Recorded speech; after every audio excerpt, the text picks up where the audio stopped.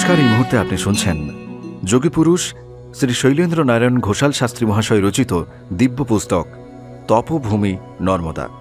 আপনারা অনেকেই চাইছেন এই বই আপনাদের সংগ্রহ রাখতে। এই ভিডিওর ডেসক্রিপশন বক্সের লিঙ্ক আছে, আপনি সেখান থেকে সংগ্রহ করে নিতে পারবেন। আমি আপনাকে বলতে পারি, এই তপভূমি নর্মদার যে পরিক্রমা আপনি শুনছেন, এই পরিক্রমা আপনার জীবন বদলে দেবে, আপনার জীবন সমৃদ্ধ করবে। এই ভিডিও আপনি বাকিদের শেয়ার করুন। পরিচিতদের মধ্যে ছড়িয়ে দিন এই অনুরোধ আপনার কাছে আমি করছি। আসুন, আমরা শুরু করব আমাদের এই মুহূর্তের পরিক্রমা। একে একে লক্ষণ ভারতজি, মতীন্দ্রজি, রতন ভারতজি, প্রায় প্রত্যেকেই তাকে হল ঘরে নিয়ে যাবার জন্য পিড়াপিড়ি করতে লাগলেন।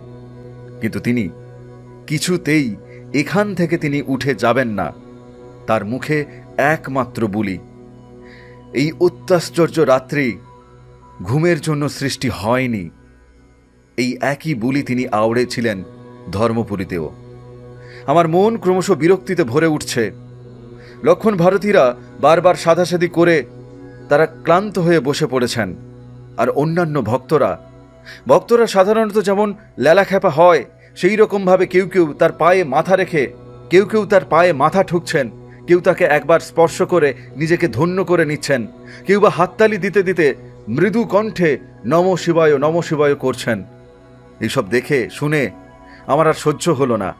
আমি মহন্তজিকে ঠেলা মেরে বললাম, যথেষ্ট হয়েছে। আর নাটক নাইবা করলেন। আমি বাংলাদেশের ছেলে। সেখানে ভাব সমাধির নামে সাধু বাবা এবং গুরুজিদের অনেক নাটকেপনা আমি করতে দেখেছি।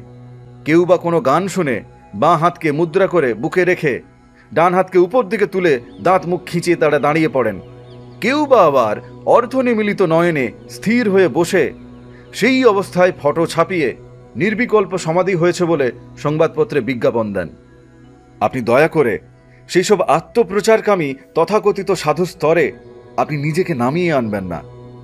এই নর্মদা তটের কোনো প্রিয় মহাত্মা সম্বন্ধে এই রকম নিচু ধারণা নিয়ে আমি যেতে চাই না। কোনো আধ্যাত্মিক গান বা স্তোত্র পাঠ করতে করতে কেউ যদি ধেই ধেই করে নাচতে থাকে বা নাচতে নাচতে ভুলুণ্ঠিত হন, দাঁত মুখ খিঁচে খাড়া হয়ে তিনি দাঁড়িয়ে পড়েন। আর ল্যালাখ্যাপা ভক্তরা তাকে নিয়ে যাই ভাবুন না কেন? প্রকৃত সত্য এই যে, সেই মহাত্মার স্নায়ু শিরা এমনই দুর্বল যে, তার দেহ মন কোনো অবস্থাতেই সমাধির উপযুক্ত নয়। সমাধি শব্দের অর্থ সমভাবে অধিষ্ঠান। চৈতন্যে পরম প্রজ্ঞার স্তরে অধিরোহণ ও স্থিতিকে বুঝায়, তা কোনো নাটুকে পোনা নয়। এক নিঃশ্বাসে আমি কথাগুলি বলে গেলাম, কোনো দিকে ভ্রুক্ষেপ না করে। আমার কথা শুনে মহন্তজি আমাকে বললেন, সমাধি কাকে বলে, বাবা? আমি বললাম, পাতাঞ্জল যোগদর্শনে সজীব, নির্বীজ সবিকল্প নির্বিকল্প, স্বপ্রজ্ঞাত, অসপ্রজ্ঞাত প্রভৃতি সমাধির যে বিচার আছে, তা তো আপনি আমার চেয়ে ভালোই জানেন। জলের সঙ্গে সৈন্ধব লবণের যোগ হলে যেমন উভয়ই এক হয়ে যায়, সেই রকম মন যখন আত্মার সঙ্গে যুক্ত হয়ে একই ভাবাপন্ন হয়, তখন সেই অবস্থার নামই হচ্ছে সমাধি। মণ্ডল ব্রাহ্মণ উপনিষদ ঘোষণা করছেন, সমাধিতে তমবিকার এককালীন বিনষ্ট হয় এবং মনের কল্পিত এই প্রপঞ্চময় জগতেরও লয় হয়। এই রকম অবস্থার নাম হচ্ছে সমাধি। ফুল, চাঁদ, জ্যোৎস্না বা যে কোনো অপরূপ দৃশ্য দেখে কিংবা মধুর কোনো সংগীত বা স্তোত্র গাইতে গাইতে বা শুনতে শুনতে মনের মধ্যে যে ভাব তরঙ্গ সাময়িকভাবে জাগ্রত হয় এবং দেহে নানা ধরনের বিকার দেখা যায়, তা সমাধির অনুকূল নয়, তা তম বিকারেরই নামান্তর। আপনি এবার উঠে পড়ুন। রাত্রি নটা বেজে গেছে, আমাদের ঘুম পাচ্ছে। এই বলে আমি তার হাত ধরে টান দিতেই তিনি ধীরে ধীরে উঠে দাঁড়ালেন। লক্ষণ ভারতজি ও আমার কাঁধে তিনি ভর দিয়ে হলঘরে এসে তিনি শুয়ে পড়লেন। আমরাও যে যার আসনে গিয়ে বসলাম। আধ ঘণ্টা পরেই মহন্তজি পা টিপে টিপে উঠে হলঘর থেকে বাইরে বেরিয়ে এলেন। তখন অনেকেই ঘুমিয়ে পড়েছেন। আমরা দশ বারো জন জেগেছিলাম। আমরা টের পেয়ে বাইরে বেরিয়ে এলাম। আমাদেরকে দেখেই তিনি বললেন, লক্ষ্মণ ভাইয়া, আমাকে বোকো না। আমাকে বাধা দিও না। পুষ্করণী তীর্থের পাড়ে সেখানে যেতে আমার ইচ্ছা হয়েছে। এই বলেই তিনি দৌড়ে লাগালেন। লক্ষণ ভরতজি ও মতীন্দ্রজি দৌড়ে গিয়ে তারা দুজন তাকে ধরে ফেললেন। লক্ষণ ভরতজি তো রীতিমতো তাকে ধমকাতে শুরু করেছেন। ক্রুদ্ধ কণ্ঠে তিনি বললেন, গুরুজি যে কেন আপনার মতো একজন অর্থ পাগলকে তিনি গদিতে বসিয়ে গেছেন, আমি তো জানি না। আপনার কি খেয়াল আছে? আমরা এখনও সুলোপানির ঝাড়ির মধ্যে আছি। আপনার খেয়াল বসে কি এতগুলো লোকে বেঘরে মারা পড়বে নাকি? মোহন্তজি বললেন लक्ष्मण भैया हम तुम्हारा गोड़ पकड़ता हूँ मुझे एक दफे जाने दीजिए आप लोग भी हमारा साथ में कृपया चले তার এই রকম কাতর উক্তিতে বাধ্য হয়ে লক্ষণ ভারতজি ঘরের মধ্যে ঢুকে কয়েকটা টাঙ্গি ও বল্লম বের করে নিয়ে এলেন আমরা প্রত্যেকে এক একটা করে হাতে নিয়ে সেই বেদ মূর্তি দিবাকরের তপস্যা স্থল হিসেবে বর্ণিত পুষ্করণীর দিকে আমরা যেতে লাগলাম মন্দির থেকে মাত্র দুশো গজ দূরেই এই পবিত্র জলাধার। তখন দেখছি ধবধবে জ্যোৎস্নায় পর্বত প্রান্তর সব যেন আলো আলো হয়ে আছে, যেন একটা রূপকথার রাত্রি, যেন কোনো এক রূপকথার দেশে আমরা এই দশ বারো জন যাত্রী আমরা এসে পৌঁছে গেছি। পুষ্করণীর পূর্ব পাড়ে সেখানে গিয়ে আমরা দাঁড়ালাম। পুষ্করণীর জলে দেখছি চাঁদের কিরণ সেখানে চাঁদের কিরণ পড়ায়, যেন মনে হচ্ছে স্বর্ণ দ্যুতিময় হিরণ্য পানি, যেন মন্দিরে নাই, তিনি আছেন এই পুষ্করণীর নীরে। মহন্তজি তিনি স্তব্ধ হয়ে দাঁড়িয়ে পড়ে, গুনগুন স্বরে তিনি গাইতে লাগলেন। এমন সময়, রতন ভারতীজি ফিস ফিস করে বলে উঠলেন, গুরুজি গুরুজি, উত্তর এবং দক্ষিণ পাড়ের দিকে তাকিয়ে দেখুন, ওরা কারা? আমরা তাকিয়ে বিস্ময়ে স্তম্ভিত হয়ে গেলাম। আমরা দেখতে পাচ্ছি, উত্তর পাড়ে দুটি এবং দক্ষিণ পাড়ে দুটি ধুনি জ্বলছে। প্রত্যেক ধুনির কাছে ধ্যানস্থ হয়ে বসে আছেন একজন করে জটাজুটো সাধু। তিনি ধ্যানস্থ। ধুনির আগুনে এবং চাঁদের আলোতে স্পষ্টভাবে আমরা দেখতে পাচ্ছি, প্রত্যেকের গাত্র বর্ণ উজ্জ্বল তামার মতো। জটার চুলো তাম্রবর্ণ। তাদের প্রত্যেকের গলার রুদ্রাক্ষ মালাও তাম্রবর্ণ। মতীন্দ্রজি আমার কানে কানে বললেন, আমরা আমরা আলেয়া দেখছি না তো। আমি আমি চোখ দুটো ভালো করে রোগলে নিয়ে আমি আবার তাকালাম। কিন্তু না, দেখছি সেই একই দৃশ্য। মহন্তজি বিস্ময় বিস্ফারিত নেত্রে তাদের দিকে দৃষ্টি রেখে তাদের কাছে যাবার জন্য তিনি পা বাড়ালেন। লক্ষণ ভারতজি তাকে জড়িয়ে ধরে মৃদু স্বরে তিনি বললেন অবুঝ হবেন না আপনি। ওরা হয়তো কোনো সিদ্ধচারণ বা কোনো সূক্ষ্মদেহী সিদ্ধযোগী।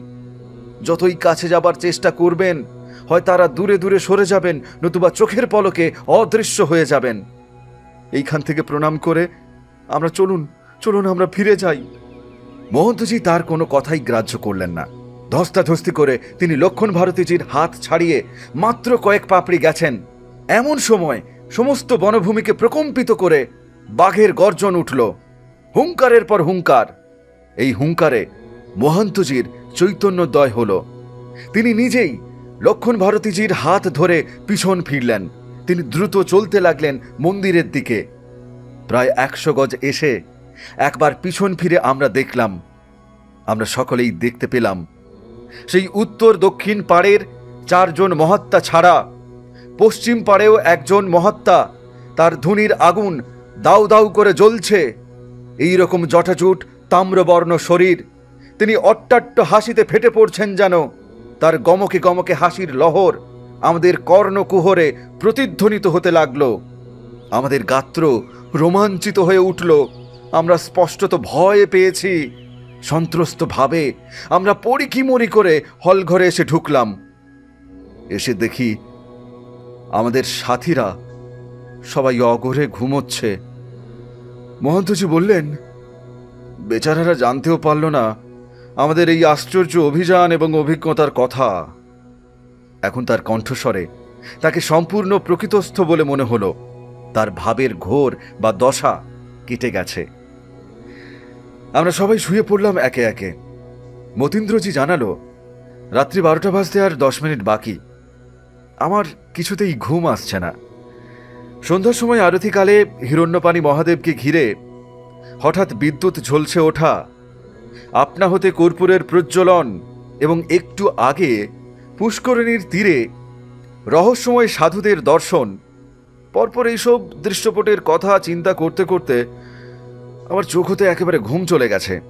আমি হিরণ্যপাণির উদ্দেশ্যে প্রণতি জানিয়ে মনে মনে প্রার্থনা করতে লাগলাম, হে হিরণ্যরেতা দৃশ্য বিপদ আপদে, তুমিই আমাদের রক্ষক। অদৃশ্য গোপন যত স্ত্যান বা অন্তরায়, তুমি তা যদি নিবারণ না করো, তবে সত্যপথের অভিযাত্রীকে কে তাহলে রক্ষা করবে? ডিমের খোলায় যেদিন পাখি থাকে বদ্ধ, সেদিন সপ্তস্বরের মধুর মূর্ছনা তার কাছে স্বপ্ন। যেদিন সেখান থেকে মুক্তি পেয়ে সে আকাশে ওড়ে, সেদিনই তো তার নবজন্ম। সত্য জন্ম।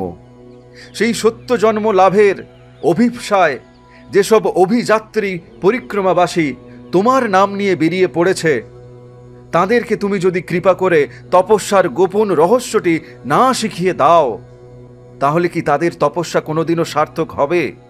যদি তুমি বলো, নিজের মুক্তির জন্য নিজেকেই উদগ্র ও একাগ্র ব্রত জপ পূজায় ঢেলে দিতে হবে, তবে তা কি সম্ভব? আমার মনে পড়ে গেল, বেদমন্ত্রের দ্রষ্টা, তৃত ঋষির ত্রিষ্টুপ ছন্দের প্রার্থনা। স্বয়ং যজস্ব দেবী, দেব দেবান কিংততে পাক কৃণপদ প্রচেতা। যথায়জ ধাতুর্ভি দেব দেবানেবা যশস্ব তন্নং সুজাত। সেই প্রার্থনার মর্মার্থ হল, তিনি আমাদের সকলের আর্থিকে তিনি ভাষা দিয়ে বলছেন, হে দুতি সমৃদ্ধ দেবতা, মানুষ আমরা আমরা জ্ঞানহীন। আমরা কি পূজা করব?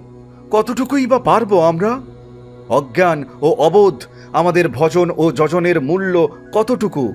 তুমি নিজেই নিজের আরাধনা করে আরাধনার মন্ত্র তুমি শিখিয়ে দাও। তাই তো তুমি পরমেশ্বর। মৃত্যুর অন্তরে পশি অমৃত না পাই যদি খুঁজে, সত্য যদি নাহি মেলে, দুঃখ সাধে জুঝে পাপ যদি নাহি মরে যায় আপন প্রকাশ লজ্জায়, অহংকার ভেঙে নাহি পড়ে, আপন অসহ্য সজ্জায় তবে ঘর ছাড়া সবে, অন্তরের কি আশ্বাস রবে, মরিতে, ছুটিতে শত শত, প্রভাত আলোর পানে, লক্ষ লক্ষ নক্ষত্রের মতো। বন্যমরুকে ডাক শুনতে পাচ্ছি, তার মানে সকাল হয়ে আসছে।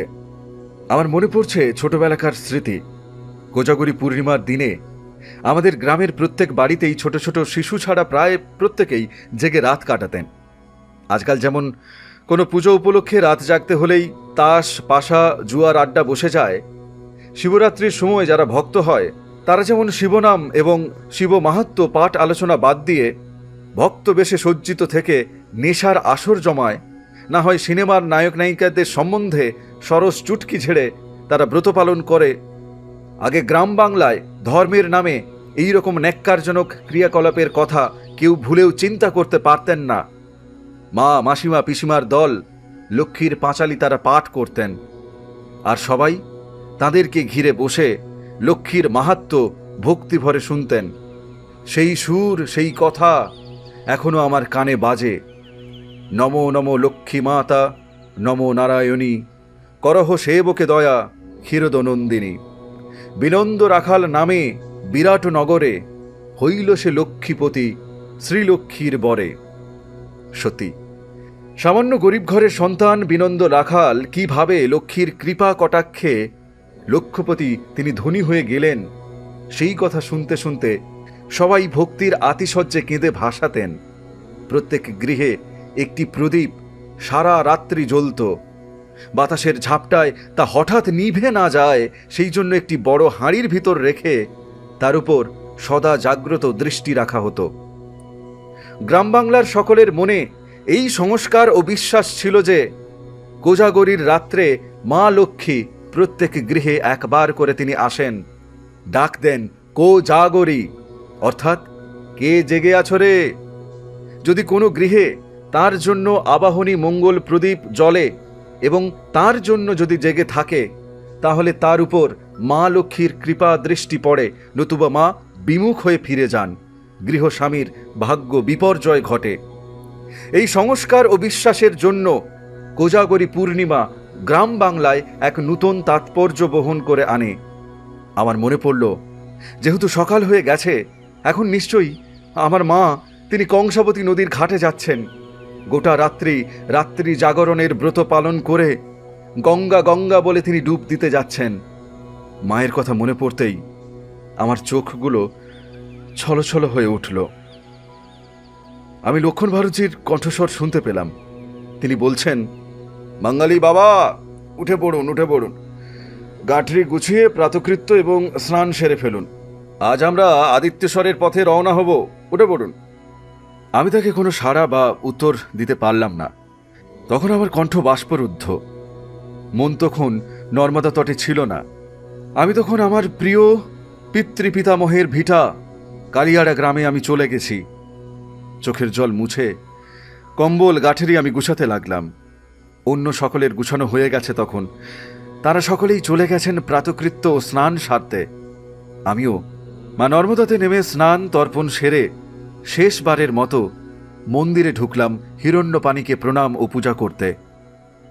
শিবলিঙ্গের মাথায় জল ঢালবার উদ্যোগ করতেই আমার কণ্ঠে যেন শতই উজিয়ে এলো সামবেদের উত্তরার্চিকের অন্তর্গত তৃতীয় খণ্ডের পঞ্চম সূক্তের একটি মন্ত্র। আমার জিহ্বা যেন অবশ হয়ে উচ্চারণ করতে থাকল সেই মন্ত্র।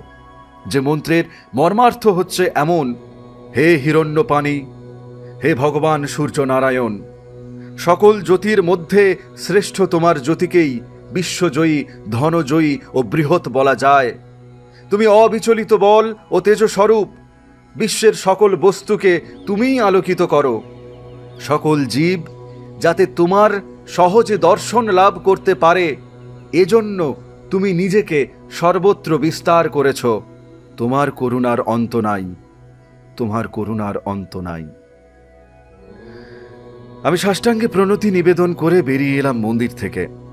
অন্যান্য নাগা সন্ন্যাসীরা আমার আগেই তারা পূজা করে গেছেন। আমি হল ঘরে গিয়ে দেখলাম, সবাই যাত্রার জন্য প্রস্তুত হয়েছেন। সকলের সঙ্গে আমিও ঝোলা, গাঠরি, কোমণ্ডুলু ও লাঠি হাতে আমি বেরিয়ে পড়লাম।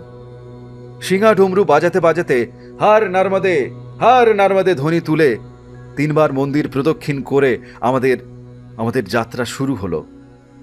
মা নর্মদার উত্তর তট ধরে কিছুটা পশ্চিম দিকে হেঁটে যাবার পরেই কঠিন পার্বত্য পথ শুরু হলো। চড়াইয়ের পথে এক বিরাট মালভূমির উপর আমরা উঠে এলাম। চারিদিকেই বড় বড় গাছের জটলা। শাল, মেহগিনি পিপলাস গাছ ছাড়াও বাংলাদেশে যে অর্জুন গাছ দেখা যায়, সেই অর্জুন গাছও প্রচুর আমি দেখলাম। আরেক রকম গাছ আমি দেখলাম, সেগুলি বেশ উঁচু। তাদের কাণ্ডগুলিও অর্জুন গাছের চেয়ে অনেক সাদা। লক্ষণ ভারতীজিকে জিজ্ঞাসা করা মাত্রই তিনি বললেন, ওইগুলি? ওইগুলির নাম হচ্ছে ধব গাছ মুন্ড মহারণ্য বা ওঙ্কারেশ্বরের ঝাড়িতে যেমন একটি সালের পরেই একটি সাজা গাছ দেখা যায়, এখানেও তেমনি ওই একটি ধব গাছের পরেই একটি তিন্দুক গাছ দেখা যায়। ওই যে দেখো, ওইটি হচ্ছে তিন্দুক গাছ। ধব ও তিন্দুক গাছের কাছাকাছি বাঁদিকের ঢালের দিকে তুমি তাকিয়ে দেখো। ওখানে আছে কুব্জ সমী কেশর, শিমুল এবং খাদির গাছের সমাবেশ। সবই আছে। আমরা ধীরে ধীরে আরও ঘনঘোর জঙ্গলের ভেতর প্রবেশ করছি। পথ ক্রমশই দুর্গম হয়ে উঠছে। পায়ের নিচে এবড়ো খেবড়ো পাথরের উপর হাঁটতে বেশ কষ্ট হচ্ছে। মহন্তজিকে আমি নীরব দেখছি। তিনি প্রায় দুই মাইল রাস্তা হাঁটা হয়ে গেল, অথচ তিনি একটি কথাও বলেননি। মতীন্দ্রজিকে চুপিসারে আমি জিজ্ঞেস করলাম, মহন্তজি, আজ স্বাভাবিক তো বটেই? গতকাল রাত্রিতে তার উদ্ভট আচরণের কথা স্মরণ করে আমার মনে হয় তিনি লজ্জা পেয়েছে নাকি? হুঁশিয়ার হুঁশিয়ার! লক্ষণ ভারতজির সাবধান বাণীতে আমাদের আলোচনার বাধা পড়ল। তিনি সকলকে ঢালের দিকে যে কোনো বড় গাছের আড়ালে লুকিয়ে পড়তে বললেন, আমরা এর কারণ কিছু বুঝলাম না। মোহন্তজি গাছের আড়ালে দাঁড়িয়ে স্পষ্টতই অসহিষ্ণু হয়ে পড়লেন। তিনি চাপা কণ্ঠে জিজ্ঞাসা করলেন, ক্যা হুয়া? কোনো উত্তর না দিয়ে লক্ষণ ভারতজি মুখে আঙুল চাপা দিলেন। দু মিনিটও গেল না। একটা চাপা গোঁগো ফোঁস শব্দ ক্ষীণভাবে ভেসে আসছে, আমরা শুনতে পেলাম। একটু পরেই গাছের আড়াল থেকে দেখি, একদল ক্রুদ্ধ বন মহিষ তারা ছুটে আসছে। আমরা যে পথ দিয়ে হেঁটে যাচ্ছিলাম, সেই পথেই তারা ছুটে আসছে। আমরা সামনাসামনি হলে কি যে দশা হতো তা বিধাতাই জানেন। কিন্তু এই ভেবে আমার অবাক লাগল যে লক্ষণ ভারতীজি তিনি এত দূরে থেকেও বুনো মহিষের আভাস তিনি পেলেন কি করে? ভাববার আর সময় পেলাম না। বুনো মহিষের দল এসে গেছে। তারা আশেপাশে কোনো দিকে না তাকিয়ে হুড়হুড় করে শোঁশো শব্দে তারা দৌড়ে যাচ্ছে। তাদের গলায় প্রচণ্ড শব্দ উঠেছে গোগো ফোঁসফোঁস শব্দ। গুনে দেখলাম, পনেরোটা মহিষ বেরিয়ে গেল। ওই ষোলো নম্বরেরটা আসছে। একটা হলুদ আলোর ঝিলিক খেলে গেল। প্রচণ্ড হুঙ্কার দিয়ে মহিষের উপর ঝাঁপিয়ে পড়ল একটা বাঘ। এই অতর্কিত আক্রমণে মোষটা চার পেয়ে লাফিয়ে উঠল। প্রচণ্ড নাসিকা গর্জন ও পদ সঞ্চালনের সঙ্গে তার বাঁকা শিং দুটো ঘন ঘন ঘুরিয়ে সে বাঘটাকে ঠেকাবার চেষ্টা করল। মহিষটা যে প্রচণ্ড শক্তিশালী তা স্বীকার করতেই হবে। এত বড় বাঘের ঝাপটা সে অবলীলাক্রমে সহ্য করেও দাঁড়িয়ে আছে, গড়িয়ে পড়েনি, বরং সিংয়ের গুঁতো মেরে জুজবার চেষ্টা করছে। কিন্তু তার সব চেষ্টা বৃথা। এক সেকেন্ডের জন্য বাঘটা মহিষের কাছ হতে সরে এসে বিদ্যুতের মতো আচমকা তার পিছন দিকে ঝাঁপিয়ে পড়ল। মহিষটা কিছু বুঝবার আগেই তার পা ধরে বাঘ তাকে এমন একটা প্রচণ্ড টান দিল, মহিষটা টাল সামলাতে না পেরে মাটিতে উপুর হয়ে পড়ল। মহিষটার গা দিয়ে দরদর করে রক্ত ঝরছে। সে উঠে দাঁড়ানোর চেষ্টা করতেই বাঘটা এগিয়ে এসে তার গলায় দাঁত বসিয়ে দিল। তারপর সমস্ত শক্তি দিয়ে এক ঝাঁকুনিতে যমরাজের বাহনটিকে সে মাটিতে ফেলে দিল। মহিষের বুকটা প্রচণ্ড জোরে পাথরের উপর আঘাত পেল, কিন্তু সে কিছুতেই উপুর হলো না। তার শিং ঘুরতে লাগল চতুর্দিকে বাঁচার তাগিদে। বাঘ নিজেকে সামলে নিয়ে এবার গলা ছেড়ে ঘাড়ে কামড় বসালো। মহিষটা মাথা তোলার চেষ্টা করলেই বাঘ পিছনের পায়ে ভর দিয়ে এক ঝাঁকুনিতে আবার তাকে মাটিতে চেপে ধরল। এইরকম একঘেয়ে লড়াই কিছুক্ষণ চলার পর মহিষটা তার শেষ শক্তি নিয়ে আরেকবার উঠে দাঁড়াল। তারপর এক ঝাঁকুনিতে বাঘটিকে মাটিতে ছিটকে ফেলল। নিমেষের মধ্যে বাঘটা আবার ঝাঁপিয়ে পড়ে, একটু ডান দিকে হেলে গলায় শক্ত করে দাঁত বসিয়ে বাঁ দিকে লাফ মারতেই মহিষের মাথাটা ভীষণ জোরে মাটিতে এসে পড়ল। আর ও হয়তো ওর নিজের দেহের ভারেই ঘাটটা ভেঙে গেল। বাঘটা এবার গর্জন করে উঠল। এটা তার বিজয় হুঙ্কার। তার গর্জনে কানে তালা লাগার জোগাড়। চোখ বন্ধ করে দুই আঙুলে কান চেপে ধরলাম। যখন চোখ খুললাম, তখন দেখি বাঘও নেই আর মহিষটাও নেই। বাঘটা অত বড় বুনো মহিষটাকে পিঠে ফেলে পালিয়ে গেছে। বাঘ মহিষের রণক্ষেত্র হতে মাত্র পঁয়ত্রিশ চল্লিশ ফুট দূরে পাহাড়ের ঢালে একটা শাল গাছের আড়ালে লুকিয়ে এতক্ষণ ধরে রুদ্ধ নিঃশ্বাসে দুটো ভীষণ জানোয়ারের লড়াই আমরা দেখছিলাম। আমরা সবাই ঘেমে নিয়ে গেছি একেবারে। চার পাঁচ হাত দূরে একটা শিমুল গাছের আড়ালে গাঁঠরি ও কমুন্ডুলু পড়ে আছে। আমার পিপাসায় গলা একেবারে শুকিয়ে যাচ্ছে। জল খাওয়ার জন্য কমুন্ডুলুটার কাছে যাওয়ার দরকার। দাঁড়াতে গিয়ে দেখছি আমার পা দুটো থরথর করে কেঁপে উঠল। একটা ছোট গাছের ডাল ধরে আমি সেখানেই আবার ধপ করে বসে পড়লাম। কিছুক্ষণ পরে কতকটা সামলে নিয়ে কমণ্ডলুর কাছে গিয়ে ঢকঢক করে সমস্ত জলটাই গিলে ফেললাম। যেন প্রাণ ফিরে পেলাম। কারও কোনো সাড়া আমি পাচ্ছি না। বাতাসে বাঘের গায়ের বোটকা দুর্গন্ধ এখনও ভেসে বেড়াচ্ছে। এদিকে সেদিকে ঘুরে ফিরে দেখতে দেখতে একটু দূরে বড় বড় গাছের ধারে বিভিন্ন ঝোপের আড়ালে কয়েকজন নাগাকে আমি দেখতে পেলাম। আরও পাঁচ সাত মিনিট পরে লক্ষণ ভারতজি ঝোপঝাড় ভেঙে ঢাল থেকে রাস্তার উপরে তিনি উঠে এলেন। কমণ্ডলুর জল পান করে দু তিনবার গলা খাঁকড়ে দিয়ে চাপা গলায় তিনি রব তুললেন, হার নার্মদে হার নার্মদে হার নার্মদে। তার উঠে আসার সংকেত পেয়ে একে একে নাগারা ধুঁকতে ধুঁকতে এসে পৌঁছলেন। মহন্তজির ক্ষীণ কণ্ঠে সাড়া পাওয়া গেল, মেরে হালত, বহুত বুড়া হ্যায়, মুঝে লে যাইয়ে।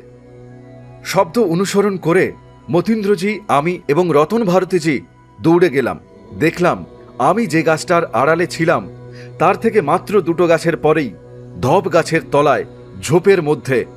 মহন্তজি হাত পা ছড়িয়ে লম্বা হয়ে শুয়ে আছেন। জোরে জোরে শ্বাস ফেলছেন। তার বুকটা ঘন ঘন ওঠানামা করছে। তাকে কতকটা জল খাইয়ে সুস্থ করা হলো। তিনি মতীন্দ্রজি এবং রতন ভারতীজির কাঁধে ভর দিয়ে উঠে এলেন তার লক্ষ্মণ ভাইয়ার কাছে। মা নর্মদাকে প্রণাম জানিয়ে এই এপিসোড এখানেই বিরাম দিচ্ছি। আপনি শুনছিলেন যোগী পুরুষ শ্রী শৈলেন্দ্র নারায়ণ ঘোষাল শাস্ত্রী মহাশয় রচিত দিব্য পুস্তক তপভূমি নর্মদা। আপনি যদি এই দিব্য পুস্তক সংগ্রহ করতে চান এই ভিডিও ডেসক্রিপশন বক্সে লিংক আছে। আপনি সেখান থেকে সংগ্রহ করে নিতে পারবেন। আমাদের এই সনাতনী ভারতবর্ষের যে গরিমা, যে গৌরব, তার এই কথা আপনি বাকিদের মধ্যে ছড়িয়ে দিন। ভিডিও শেয়ার করুন লাইক করুন এবং আপনার অনুভব কমেন্টে অবশ্যই জানান। এই পরিক্রমা এখনও অনেকটা পথ বাকি, তাই আপনি সঙ্গে থাকুন। মা নর্মদার কৃপা আপনার পর বর্ষিত হোক। পরবর্তী এপিসোডে আবার আমাদের পরিক্রমা আমরা শুরু করব। ভালো থাকুন, সুস্থ থাকুন। নমস্কার